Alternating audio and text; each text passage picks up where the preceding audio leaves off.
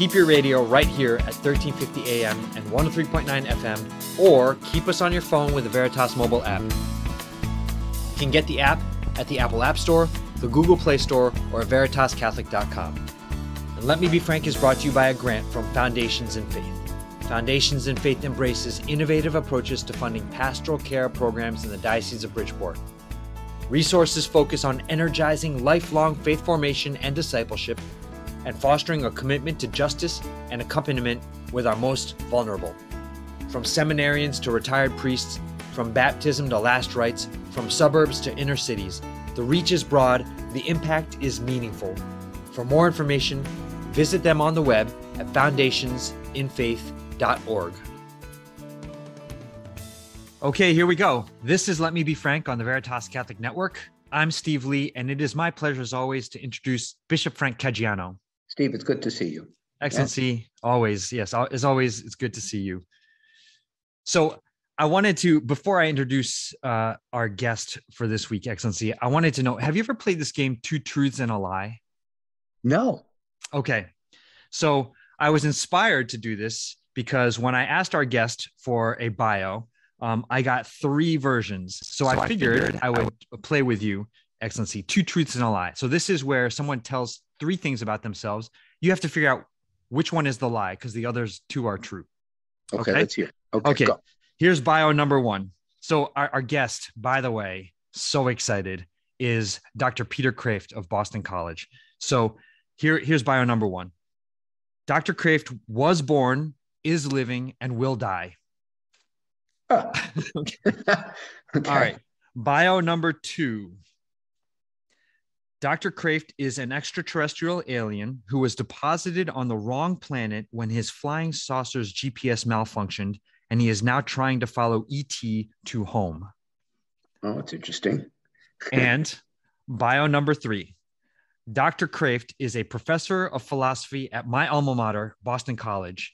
And uh, as I told him, I'm sad to say that in my four years there, I was too much of a knucklehead to have known to go take one of his classes. But here's the rest of bio number three.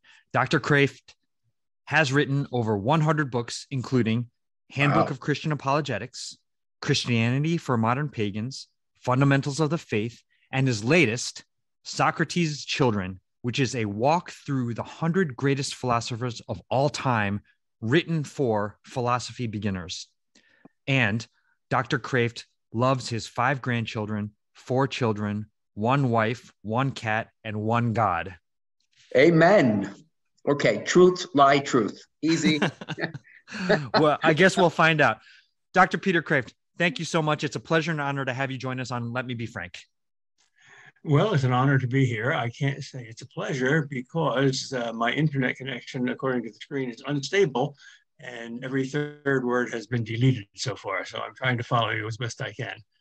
But that happens. You know, the digital demons are having their day. uh, Dr. We'll Craig, do what we can in, with the connection.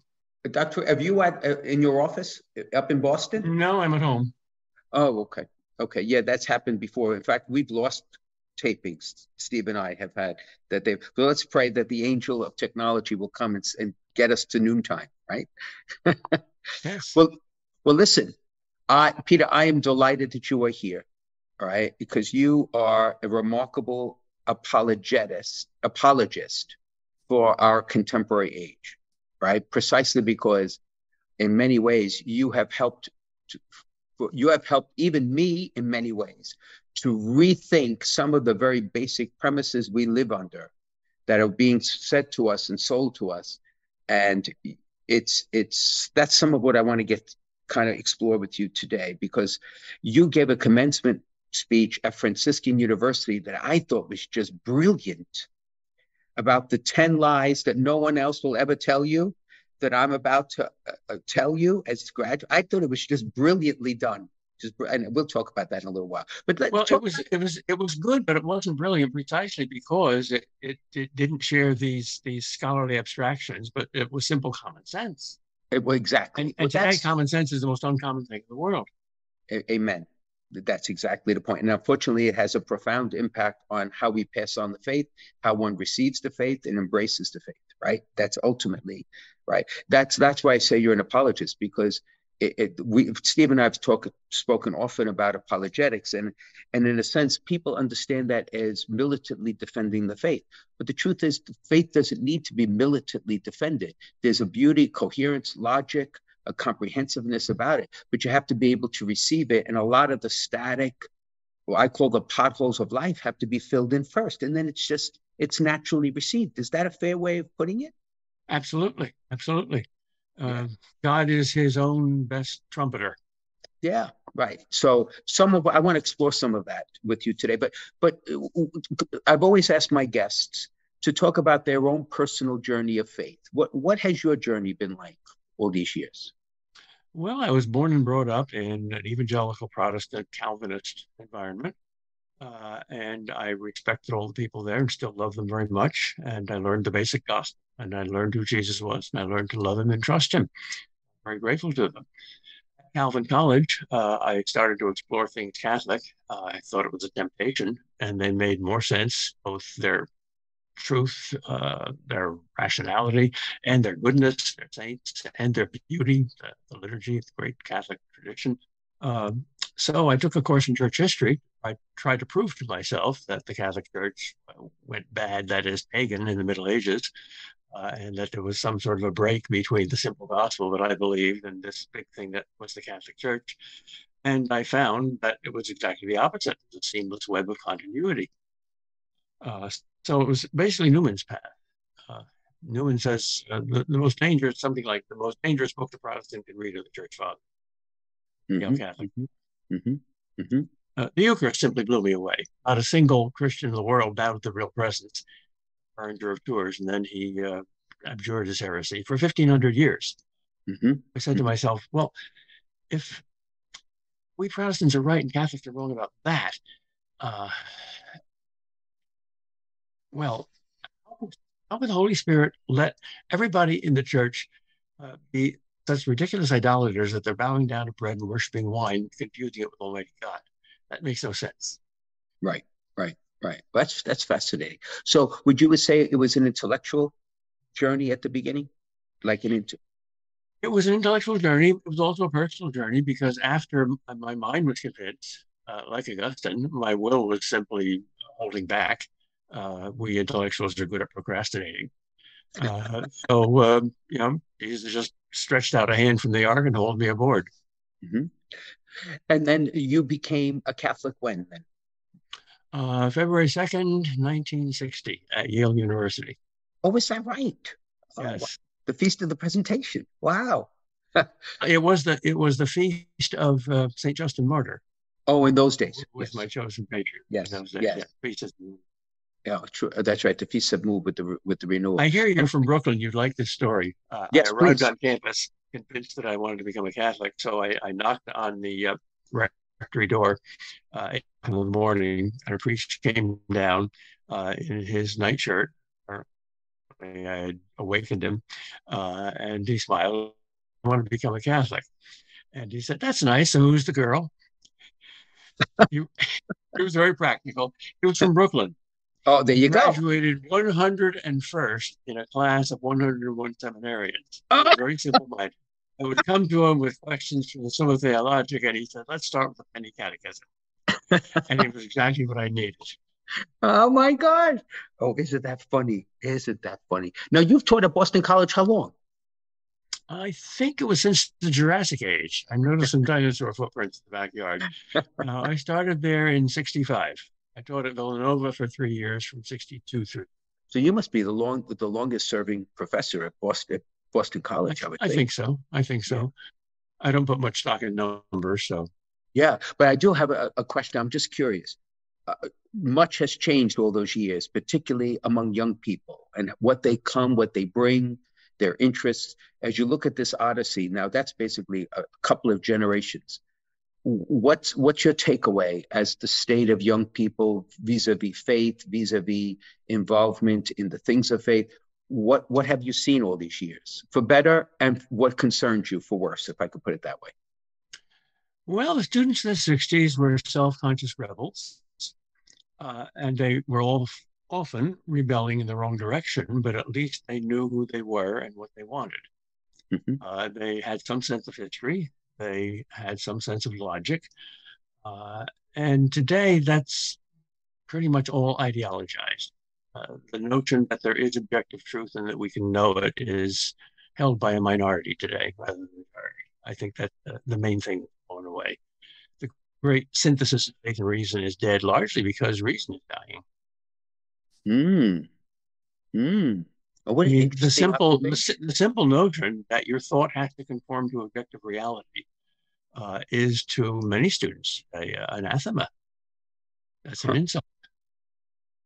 So that's one of the basic premises that we need to challenge, right? If we're going to allow the passing on of the faith to be effective, right? Yes, and it's kind of tricky to challenge it uh, because it it can't be proved; it has to be assumed. You know, there is objective truth. Well, I doubt that. Uh, oh well, then uh, you're contradicting yourself because you're saying it's an objective truth that there's no objective. Yes, I am contradicting myself. So what? The law of non-contradiction is a plot invented by dead white European heterosexual pious males to suppress the minds of uh, uh, of the unorthodox. What do you do with that? Well, that's a good question. It, what do you do with that? you pray. Uh, you you try to exorcise the demon before you argue with it. Mm-hmm. He is, I think, the most radical philosopher in the world because he's the first one who challenged what he called the will to truth. He said, no, all philosophers before me have disagreed about what the truth is, but they all assumed that we wanted truth. Why truth? Suppose life contradicts truth, then the hell with truth. Up with the lie. Right. So it's relativism, subjectivism taken to its ultimate conclusion in a way. Yes, and that's at the at the heart of uh, of the transgender movement and, and of uh, uh, active uh, gay activism. Uh, I will be what I want to be, not what nature, objective truth, or God wants me to be. Right. I am right. God. I mean, the, right. uh, they often still believe in God. They say, God, you have to move out of my seat. I'm, I'm in the driver's seat here. Oh, so it's the old adage we're not made in God's image, God is made in our image. Exactly. Exactly. Right, right, right. So, in a sense, is there, now you, you raised one of many points that hopefully we could cover while we're together is that that people now of all ages, not just young people, are comfortable with an inherent contradiction. That is, they act as if there is an objective truth, even if what's, but they don't acknowledge it cognitively, right? And, and so, and they're comfortable living in a disconnect that way. Right? Well, they're living in two worlds. They still believe in objective truth in the world of science. Anything that is empirical and uh, mm-hmm mathematical, uh, mm-hmm. there's still objective truth there. But if it has anything to do with values or meaning or wisdom, that's purely subjective. Yeah. We're the first society in history to deny that there is anything like an objective moral law. Right. So, so the concept of the what truth is and that it's multivalent and that it is more than just empirical, that is what's being attacked, right? Yes. Yes. Right. Okay. You know, I'm going and to. That's why philosophy is so important. Because you get into the pre-modern philosophers, you, right. you you see you, rather than simply you you you actually get into the mind of someone who practiced that belief in objective truth, and you see how beautiful it is compared right. with the ideologized, subjectivized, relativized moderns. Right, right. Uh, I have once had a conversation in a high school class, and I, am going to narrate it for you in, in, broad strokes, and I want you to critique it because it could very well have been, you know, uh, um, I it may have been futile, but when we spoke about truth, right, and they readily, as you say, before they come to you in the co- collegiate life, even in high school, they very readily admit that um, science gives us facts that you just mm-hmm. got to deal with, right? Math gives us facts. One plus one is two. And they also readily admit, when they're brutally honest, that they kind of see religion as the myth that's going to last for as long as science needs to catch up, right? And then it may all disappear or whatever. Okay, having said all that. So I said, okay, that's, you know, that's what you hold. All right, so now let me ask you a question. I said, do you who do you love in your life? Oh, I love my mom, my dad, my this, that, the other. And I said, okay. So if you were to say, I love my father, is that true? I told them. I asked them. And they kind of look at me, you know, and one girl in particular said, Well, yeah, it's true. I said, But then by the basis of what you just said, how can you actually tell me that's true? Why is that not just a fabricated opinion or something? And they mm. kind of look at me and they're kind of at a loss. And, uh, and I say to myself, Do you realize truth is more than just the fact? Right? Truth comes in many different ways. Now, the class ended soon after that. I've never really had the opportunity to go back to the class, but is that what's your reaction as a as a teacher, as a philosopher, as a apologist? How do we kind of break through that kind of? You just did. You gave an example of your breaking through that. The traditional approach is live and love according to reason, and that worked for a while. But since reason is broken down, uh, the approach that works best now is the opposite. Start with love. Is love the supreme value? Yes. Okay. Now, does love go all the way up, or is it just how you feel? And if you feel hate instead of love, that's the meaning of life, right? No, no, no, no. Haters like Hitler, they're wrong. And lovers like me were right. Oh, well, then love must be not just what you personally prefer, but it must be the ultimate meaning of ultimate reality. So God must be love. There must be a, a, a real perfect love that you're striving for. And they're impressed by that argument. They've never heard an argument like that before. Right, right, right. Exactly. Because the world's going to is not going to give them the venue to hear it. We have to give them the venue to hear it. Right. And that's why saints will convert the world. Because they are living examples of love. Right. Heroes right. of it. Right. Right. They did it once in the first two centuries. Right. I mean, think of think of these practical, hard-nosed scientific Romans uh, who saw Christians risking their lives to save people from the plague when nobody else would do it, and giving their enemies when they were slaughtered in the Colosseum, uh, and going to the to the next life singing hymns. Uh, either these people are crazy, or they have something that has never been seen before. That that was you can't argue with the saint. Nobody ever won an argument with Teresa. Oh, oh, without doubt. Oh, uh, exactly, exactly. Who was the who was the famous atheist who took on Mother Teresa? I forget mm. his name now. Christopher oh, Hitchens. Yeah, Christopher Hitchens. Yes, Christopher. Yeah. yeah. And and, and he, he called her he called her names that can't be pronounced uh, legally. Uh, yes. On, on public media. Yeah. Right. Exactly. But in the end, um, I have difficulty remembering his name, but everybody knows who Mother Teresa is. In the end, yes, right? Isn't that there was another famous atheist, a very intelligent atheist, Malcolm Muggeridge, who became a Christian but not a Catholic for a long time, and mm-hmm. he said um, the reason I'm a Catholic is uh, three words from Mother Teresa's mouth. Teresa said to him once, Malcolm, you're a good man. Why don't you see your way all the way uh, to swim the Tiber and become a Catholic? Malcolm said, uh, I said to uh, Mother Teresa, well, I'll, I'll, refute you with your own words, Mother.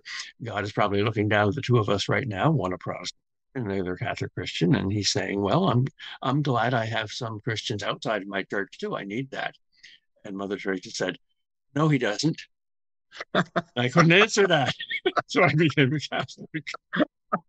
Oh, I love it. I love it. I love it. It's so much fun being Catholic, really, honestly. it is.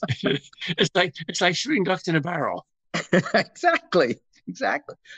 So one of the things I wanted to pick your brain about is in this in this, you know, we talk about apologetics and, and the importance of philosophy and helping people to understand why it is important to ask some of these more ultimate questions, right? In seminary formation, many a seminarian will say, well, do I mean, what's the point about philosophy? In the end, we could, isn't it about the faith? Isn't it about the creed? Isn't it about the catechism? Uh, why do I have to study this? And you could ex- extrapolate that to anybody. You know, why do I have to know about epistemology or metaphysics or, you know, modern philosophy? What's your response as a philosopher to all of that?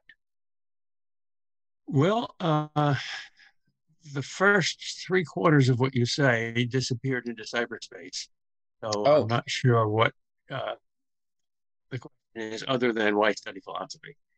Yeah, well, basically, basically that. Yeah, why study well, philosophy? Because everybody has a philosophy. Let's interact with it. And if you say the hell with philosophy, that's your philosophy. It's bad philosophy.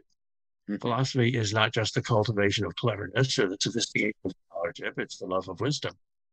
Mm-hmm. Mm-hmm. And deep down, we all want to be wise rather than fools. Mm-hmm. So philosophy is is like food; it, it's natural. Mm-hmm. not that any particular philosophical system is for us, but the philosophical questions. Uh, does life have a meaning? How can I find my true identity? Uh, what are the true values in life? Those are questions that everybody asks. Mm-hmm. Mm-hmm. Mm-hmm. So that's the starting point. The human nature was not invented at Harvard or Hollywood. It was invented in heaven. So Amen. we've got a good point. Amen.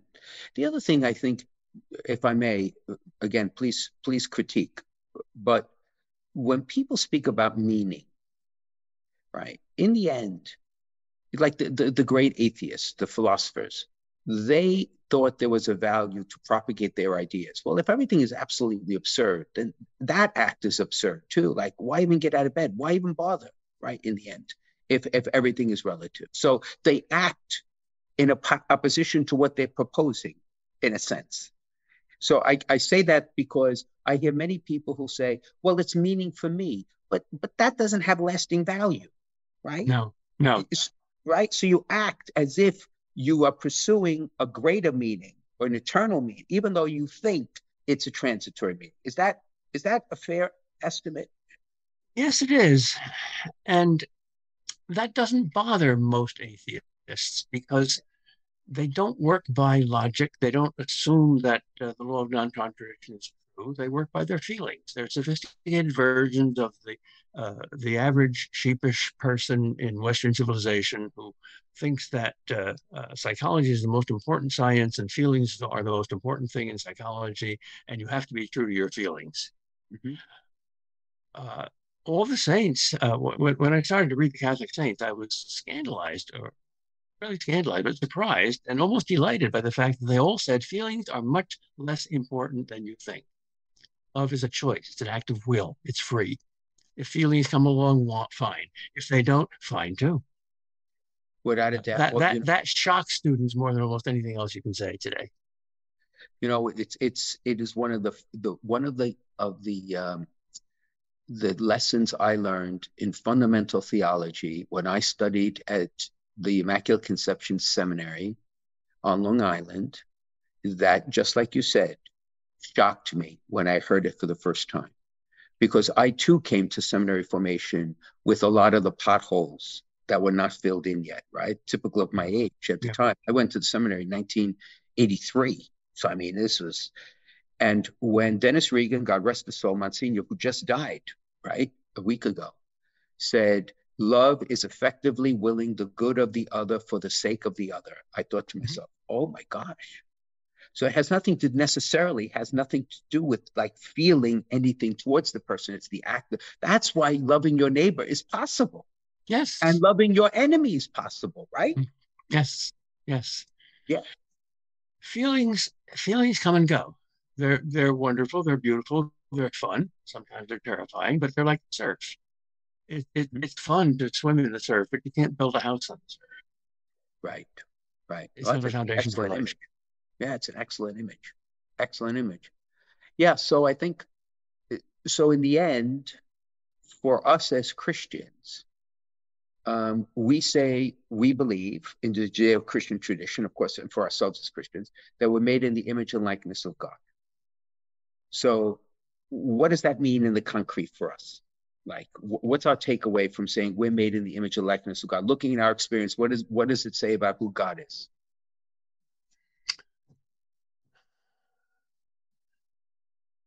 It says that if you find the complete human being, you find the best window to God. So even on a humanist Christian basis, almost everybody agrees that, Jesus was a complete human being. Uh, that's our best window to God. Isn't that interesting? Jesus says, "No man has seen God at any time; only the only begotten Son uh, has revealed Him." Uh, wow! And and and that's much more concrete than any other religion. Here is God in the flesh. Want to see what God is like? There's no more beyond Jesus. Uh, in Paul's letter to the Colossians, as this verse, uh, the fullness of divinity uh, was pleased to dwell in him. Mm-hmm. People think there's got to be something more in God the Father than God the Son. There's got to be something God's holding back and not showing up. Jesus, and the answer is no. He isn't. That's it. Right. And that's and that's the total love that he poured out on the cross He could have saved the world by his circumcision. One drop of, of the precious blood would atone mm-hmm. for all of your sins. Why did he give us 12 pints of it? Because he had 12 pints. Does. It was right. Well, that's that's beautifully said. Very beautifully said. And therefore, the tying of our love for God and our love for neighbor is is precisely two sides of one coin for that reason. Yeah, we love our neighbor because they're God's kids. So are we. Exactly. Right. We love those whom God loves. Yeah. Yeah. Yeah. And in that sense, Christianity is is is critiqued by the modern world as being this complicated set of rules and regulations and all the people created, but it, it is as simple as you just described.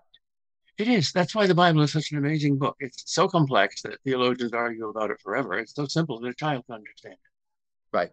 Right. Wow. Tremendous. Tremendous. I think we're, we're coming up to a break. When we come back from the break, Peter, uh, that uh, uh, I hope you remember that commencement address you gave a Franciscan, because some of the insights you made, I think our listeners would benefit phenomenally if you could raise some of those points, some of the the misconceptions that people live by, and how well, we have to expose them. We'll try. I'm an absent-minded professor, and I'll probably forget nine of them, but not all ten. But even if you have one, it's great. All right. So you can hear that when we come back. This is Let Me Be Frank on the Veritas Catholic Network. His Excellency is speaking with Dr. Peter Kreeft, author, speaker, uh, potential extraterrestrial, and um, professor of philosophy at Boston College. Be right back. If you're concerned about your end of life plans, searching for a Catholic cemetery, or have loved ones who are buried in one of the 14 Catholic cemeteries throughout Fairfield County, now might be a good time to begin planning for yourself or for other family members. Call one of our family advisors at 203 742 1450 and select option 5 to leave a message or visit www.ctcemeteries.org. Many people don't realize that they can be buried with their deceased loved ones, even if all of the family's in ground plots have been taken. The Diocese of Bridgeport Catholic Cemeteries provides in ground burials, as well as columbarium and mausoleum options. This makes it possible to unite your family together in the same cemetery, and it's an opportunity to build a bridge for your family back to the church. Talking about this issue is not easy, but pre need planning makes your wishes clear, reduces cost, and helps your family avoid difficult decisions at a time of grief and loss.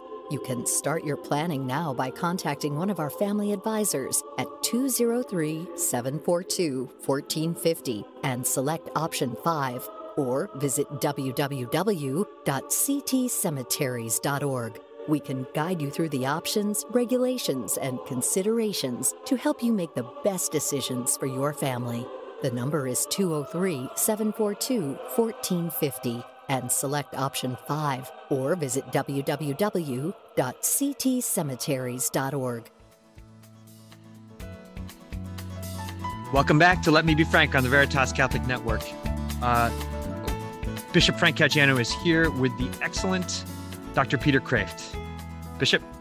Yeah, so Peter, uh, again, going back to the commencement address, and quite frankly, beyond that, because this you have been teaching this for many, many, many years. You know, what are some of the the the, the maxims, you know, the what, what's considered to be the common sense of the modern world that people just accept blindly, that are a recipe for confusion or worse, right? Give us an example or two of what that could look like. The number one example, I think, is what is said in most commencement speakers with the graduates. You can be whatever you want to be. That is a simple, literal, outright lie. But people love that lie. Now, I'm going to say something very controversial. That's the lie at the heart of the transgender movement. And there, the relativism penetrates even science. Science tells us that in every cell of our body, we are either masculine or feminine science tells us that that is the objective fact of nature. And now it has become not only popular, but uh, uh, uh, to approve the lie that you are whatever you want to be. Uh, I got in trouble once uh, with the authorities at Boston College, who were very reasonable, and I have no critique of them. I love BC, it's a good place to work. But a transgender student objected uh, to my. I didn't know he was transgender at the time. We were talking about ethics, and I thought that uh, the idea that you could be whatever you wanted to be uh, sexually as well as uh, every other way uh, was literally insane. I defined insanity as the refusal to conform to objective reality. Complained, and I had to apologize to him because I hurt his feelings. But but there's, there's objective truth involved here, and science is on my side, not on his side. Matter you hurt his feelings. Counts. I did apologize, and mm-hmm. that that's an example of uh, uh, how far this relativism can extend. Right. Our subjective feelings are the standard of objective truth. Is, is it also fair to say, with this idea, you could be anything you want to be, is also usurping God's role? Of course, you can be God.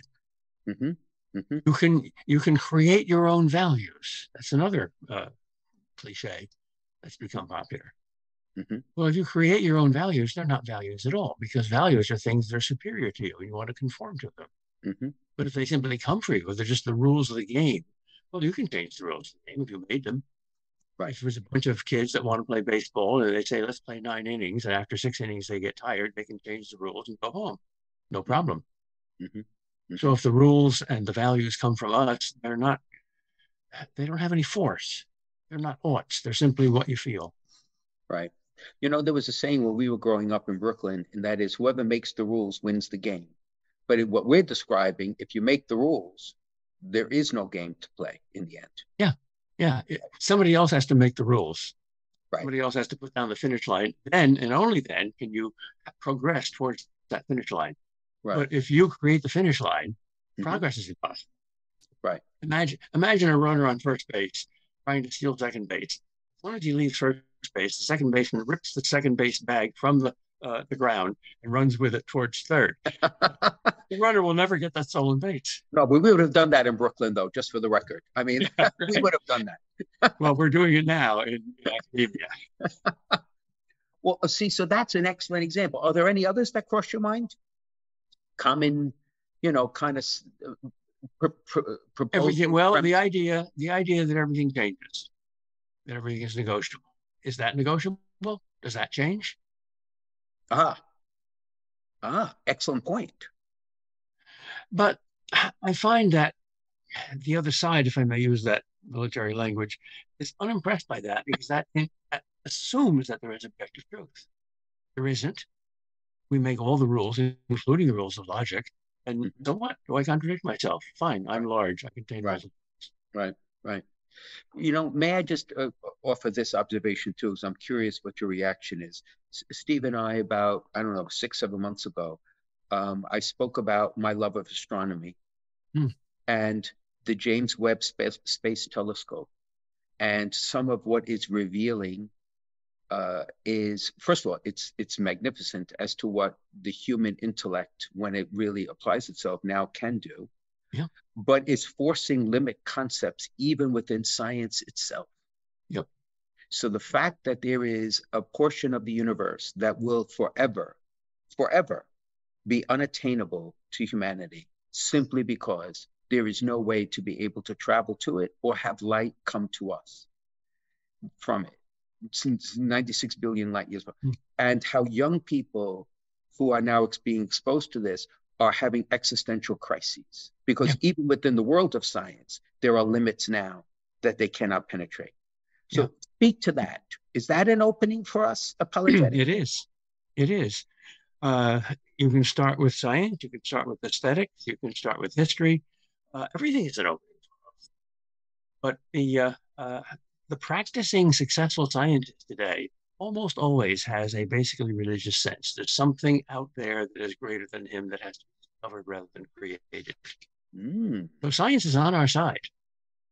Mm. Uh, the, the so-called war between science and religion, which is the standard view of modern history and the standard explanation for why religion is declining, is a absolute and simple lie. Not a single religious doctrine has ever been refuted by a single scientific discovery at any time in any mm-hmm. place. Interesting. So if somebody says science versus religion, which science, which discovery, which religious doctrine, yeah. and So, Peter, what about psychiatry and psychology? Are they are, are they allies in this for us, or are do, can they have a role to play to bridge this gap that we're talking about? Yes, if they're honest, but uh, psychologists and psychiatrists are uh, the I don't know of all the professions. Uh, it's one of the professions with the, the vastest majority of atheists. Really? Oh yeah, and most uh, most psychiatrists who are atheists say they encourage religion in their clients because it gives them a sense of peace and, and, and helps them. And they see that on the practical level, religion works, but they don't see on the theoretical level that it could possibly be true. Oh, so they're actually suggesting it simply as a tool, as a, oh, yeah. as coping mechanism, but not because they believe it necessarily. Yeah, yeah. So, and I'm not I'm not belittling the science of psych- psychology uh, by any means, but uh, uh, ordinary things like depression, uh, scientific studies have shown over and over again that bartenders are as effective as psychologists. Really? Or, ordinary psychotherapy for ordinary problems uh, are not dealt with effectively, very effectively by, by psychologists. That doesn't mean they can't be. And that doesn't mean that, that, that things like couples counseling is worthless. It's certainly very worthwhile. Right. Uh, but the success rate is is very small, disappointingly. Mm-hmm. Mm-hmm. No, it's interesting. I I stumbled on a um, an article not long ago about the the importance of friendship. Yes. And how friendship is wired obviously into our nature, and those who are struggling with friendship uh, necessarily have some of the consequences, you know, of loneliness and depression, and that we're in a crisis of friendship in mm-hmm. the last 20 years among men, because when in 1990, 3% of men said they did not have a single close friend. Now, in the latest survey, 15% of all men will say they have not a single close friend. Yes. And and I thought to myself, reading of course, it's alarming, but it's another consequence of being made in the image and likeness of God, because God is one, He is also a community. Yes, yes. Well, the statistics on teenage uh, loneliness and depression are astonishing. Mm-hmm. The latest statistic I saw was 59% of teenagers experience significant uh, times of clinical depression. Mm-hmm. Uh, and the, uh, the temptation to suicide, which used to be something between 5 and 10%, now is approaching half. Half of all teenagers seriously contemplate suicide time. Really? Uh, that's that's disaster. Oh my gosh. I had no idea it was that severe. Wow. Disaster. But you know what? It may just be a consequence of everything we're speaking about. Allow me this analysis, right? And again, please critique it. Um, uh, my experience with young people has always been if if you you are, are, able to inspire them and give them something to strive for, they will try to strive for it. There is something in the human spirit that says, I want to strive for this. That's why we still have young people going into the military, going into the Marines, special forces. They need to aspire. Okay.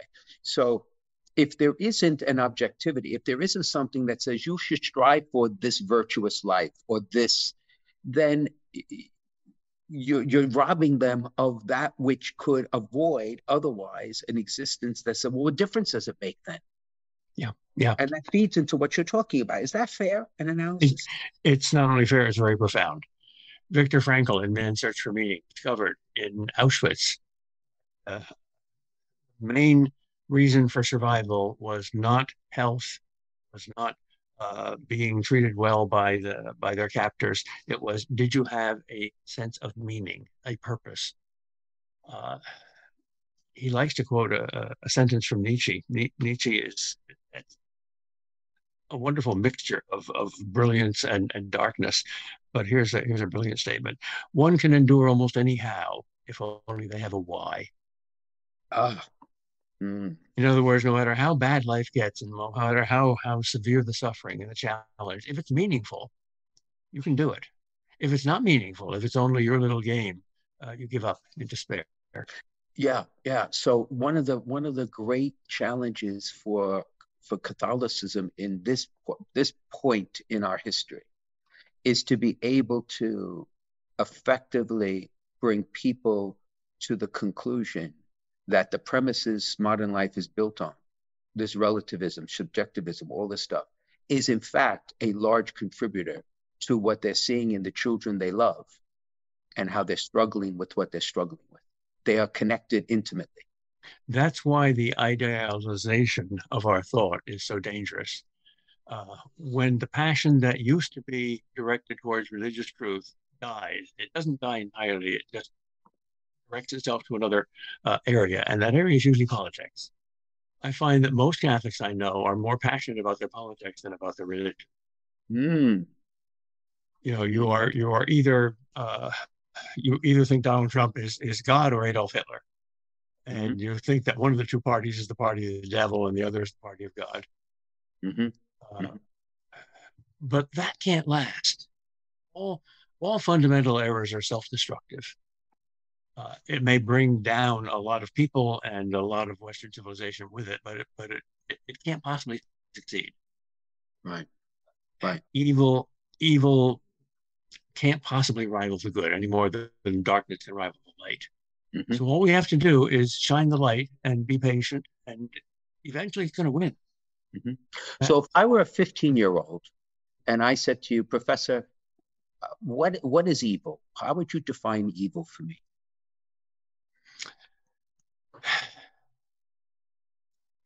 Evil is indefinable. Evil is formlessness. Uh, good is a kind of, of order, especially an order in values. Mm-hmm. Uh, and if all order breaks down, and the second work of God after creating the universe, namely the Holy Spirit, working on that water, that disordered, that formless chaos to bring order into it. Uh, once that is broken down back to, to, zero, and that's what's already happening with the family, with sexuality. What is a man? What is a woman? It doesn't matter. They're changeable. Uh, hmm. what is good? What is evil? It doesn't matter. They're all relative. What is truth? What is falsehood? It doesn't matter. It all comes out of your own mind. That's the fundamental breakdown of divinely created order. And right. Devil's very clever strategy. Right. See, I, I admire you because you you speak about the the the presence of the evil one very clearly in a lot of what you talk about. And I think young people must be sh- kind of shocked when they hear that from you. No. Well, like we, we know by experience that life is warfare. Life is a struggle, at least spiritual warfare. Mm-hmm. Uh, what the relation between that and physical warfare is is somewhat controversial. Mm-hmm. Um, I have sympathy for both the militarist and the pacifist, but uh, people tend to go into the military today uh, for different reasons than they used to. It used to be that they assumed that there was order and value, and this was a good one, and the country is worth defending. So let's risk our lives for our buddies. Okay, that's no longer the, the, the usual reason. The usual reason today, I think, is I can't find meaning anywhere else. These people are offering me a way uh, that distinguishes between good and evil, and I need that. Right, right. You know, in my confirmation homily, I, I've added, a, well, it, it's evolved over the years and there are many different forms of it. But I, I had somewhat, I made the decision that I'm going to address one issue in particular with these young people. I want you to, to respond. Right? And I say to them that you're growing up in a world where your first mistake could conceivably be your last mistake because the world will not forgive it it will seek to just eradicate, cancel you out. I said, but you are coming, you're standing with a Lord who, if you're willing to seek forgiveness, your your your first mistake need not be the end, right? And that there is mercy and forgiveness. And they kind of look at me. I'll never forget it. Two weeks ago, I had a confirmation, and one of the girls was actually crying. There was like a tear coming down her face mm-hmm. because there must be in her own life those who are trying to cancel her out Mm-hmm. Right. But if you live in a relativistic world, what difference it make? Right. But only against the more objective truth that there is a God to whom who is calling us to ultimate glory and that we're going to fall on our face. But the bottom line is, He will pick us up. And if we're truly sorry and learn from it, with His grace, we can keep going. It's liberating. The objective is liberating. it's good news. It's gospel. Yeah. Right. We, we, we, we are sinners. What good news? It's our fault. That's good news. We're agents, not just patients. Right. We oh, happy fault. Right? Oh, yes. Oh, happy fault. Oh, necessary sin of Adam. What a that that could be a whole retreat just on that on that proclamation. Well, it's, it's, it's, very simple, really. Uh, love has to be free, and God is love. So God freely creates us in His image, and we have the freedom to goof very badly and reject Him, uh, and thus all of history goes down the drain. Why? Because of God's love. Two apparently supreme triumphs of Satan: the Garden of Eden to uh, get, get us to fall, and on Calvary to kill God Himself, or God's supreme triumph. Right because that fall brought about the whole drama of human history, which is our redemption, which right. in the end is a glory that dwarfs all the darkness that, it, that replaces. And this worst thing in history that ever happened, namely the deliberate torture and murder of God Almighty, uh, we celebrate on a holiday we call Good Friday, our salvation. Oh, yeah. Oh, yeah. Oh, yeah. Absolutely. Absolutely. At least interesting. Anybody who says Christianity is a bunch of platitudes had never looked at it. It may yeah. be crazy, but it's it's fascinating. Absolutely, absolutely. Now, I have another topic I wanted to just raise quickly from from your perspective as a philosopher, apologist, theologian. Um, talk to me about, and I, because I've spoken about it often, but I want you to to give your perspective. That is, tell me what is the role of beauty in the philosophical enterprise, in the theological enterprise in life, human life. What's it, its importance, its role? we all want truth, goodness, and beauty without limit. Uh, we may want to be de- we may want to deceive, but nobody wants to be deceived. We may not want to be good ourselves, but we want good things for us. Uh, and we we may not be very beautiful, but we're not satisfied with ugliness. Mm-hmm. Uh, beauty is the first thing that we notice. Beauty is the ambassador of truth and goodness. Beauty is the point of the arrow that first enters the bullseye. So if if a truth is presented in an ugly way, it's going to be rejected. And if goodness is presented in a uh, ugly way, it's going to be rejected. And that's not just an aesthetic icing on the cake or, or clothing or covering up. That's the revealing of, of the inner nature of the thing. Thus, Mother Teresa because of all her wrinkles, is more beautiful than a, a shallow movie star. Mm. That spiritual beauty can still be detected. Kind of beauty that's deceptive and vain, the kind you uh, you get by by covering things up and and, and making up uh, excuses, but uh, but there's a deeper kind of beauty that is. Uh, well, I, I remember when I was about 16 years old, very little about Catholicism, uh, and I was just bored, so I bought a book by St. John of the Cross called The Ascent of Mount Carmel. I didn't understand it at all, but it was so beautiful that I said, there must be some truth and goodness here. I don't understand. Mountain, that's like Everest. It was not just the aesthetic beauty, not just the words, not just the good poetry, but the beauty of that ideal, that value, that uh, uh, that goodness. Mm-hmm. Mm-hmm. It, Thomas Aquinas says beauty is beauty is simply the same thing as goodness only received in a different way. Yeah, it's interesting. Is it true that it, for the Greeks, right, um, and for the ancient philosophers, beauty was also order and proportion? And is that? There's a word in Greek, to kalon, K-A-L-O-N in English, means the good and the beautiful, and it implies uh, right order. They they they took joy in in seeing right order and misery and disorder. And we still do, especially with our lives. When our lives are disordered and falling apart and ugly, that's that's a kind of death. Right. Our souls can can sort of anticipate what's going to happen to our body when when it, it simply falls apart and, and, order does not reign. Yeah, you know what's interesting? I remember uh, in, in college, which is you know my Jurassic period of my life, the uh, I remember that there was a real dis- we had this real heated discussion about what makes a face beautiful and the mm. only thing everyone could agree on is that it's proportionate mm. that nothing's out of order yep and people are drawn to what's proportional what's what's and i think to myself to, to you because there's an objectivity to it right? Beauty is not just subjective in that sense right? Yes yes. And that's why we see the faces in in a modern artist like picasso as deliberately ugly. Right. Now, maybe Picasso is just a fake, and maybe he's uh, uh, uh, just trying to show beauty by contrast with ugliness, but it seems that he's, he's deliberately cultivating ugliness. When you go to the Museum of Modern Art in New York City, and you you better not have any weapons of, of destruction there, because if you take that stuff seriously, you're going to be tempted to commit suicide. Exaltation of ugliness and a fear of beauty. I'm told by a number of architects that it's impossible to get uh, uh, uh, a lot of support for anything beautiful in, in architecture nowadays. It, it has to be off center, it has to be transgressive, it has to be unnatural rather than that. Uh, and order and harmony and proportion are enemies rather than allies.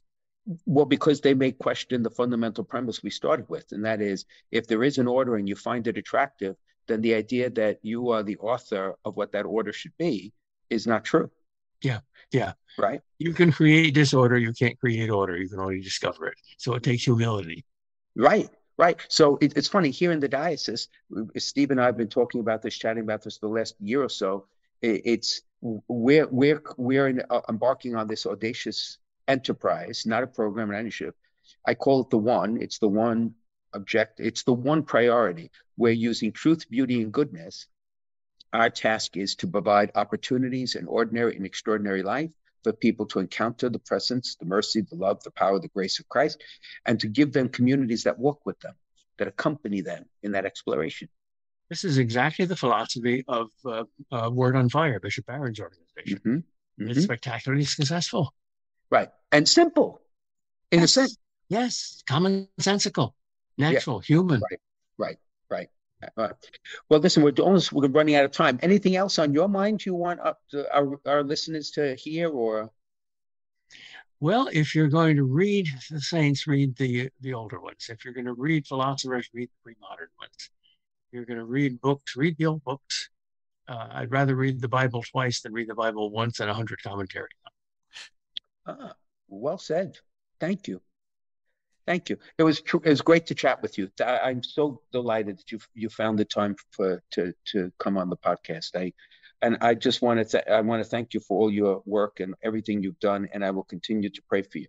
Right. Thank that you, Bishop Frank, and thank you, thank you for living up to your name. You know, oh I want to. You you should talk to my confessor, Lord. I, I also want to make a, a pitch. That conversation was so fascinating. We didn't get around to it, but uh, Dr. Kreeft has just released a brand new book set called Socrates Children, which, after having taught college philosophy for 60 years, uh, I, I know, Dr. Kreeft, you, you were looking for a beginner's philosophy text that was clear, accessible, and enjoyable, but you couldn't find anything out there. So you decided to write it yourself. So that's that's why I write books. I want to read them first, but I sometimes have to write them before I read them. so, so before we go to break, I'll just make a pitch.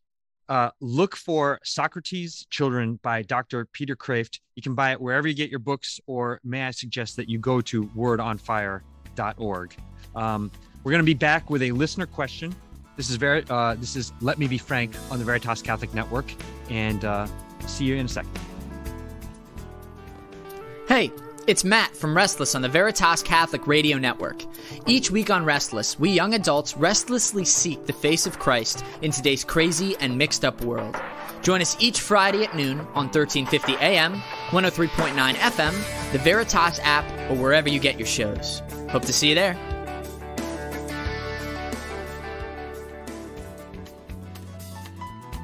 All right, welcome back to Let Me Be Frank with Bishop Frank Caggiano. All right, Excellency, here is this week's listener question. Mm-hmm. It says, I'd like to know what Bishop Caggiano thinks about the possible Eucharistic miracle in Connecticut. And has the bishop ever experienced any Eucharistic miracles? Well, the second part of the question is no, I have not experienced one directly. I mean, there are many that are out there, and some of the most compelling presentations I've been to in a while are those that that show the variety, and depth, and breadth of the Eucharistic miracles that we have seen, right? But for Connecticut, I would just say this: I believe it is possible. I believe it demands a true investigation, which I believe Archbishop Blair and the Archdiocese are doing. But I would say I would not be surprised in the least if it were true, in part because it is my understanding that Blessed McGivney was associated with that parish was either his first or last assignment. And I would be thrilled if that Eucharistic miracle was the second miracle that got the church to recognize Father McGivney as a saint. So I think it's on the unfolding of the economy of grace that that may be in our midst. That would be cool. Okay. Mm-hmm. If you oh eh, you experience a Eucharistic miracle every mass, by the of way, course. but of course. that's not what the listener meant. I take that for granted because I believe what the Lord says. right, right. All right. So if you have a question for Bishop Frank, send it in on social media. You can email questions at veritascatholic.com. Bishop Frank Caggiano is on Facebook, Instagram, and Twitter. So is Veritas Catholic Network. We'd like to thank our sponsors, Foundations in Faith. A grant from the St. Therese Fund for Evangelization makes it possible for us to bring Let Me Be Frank to you.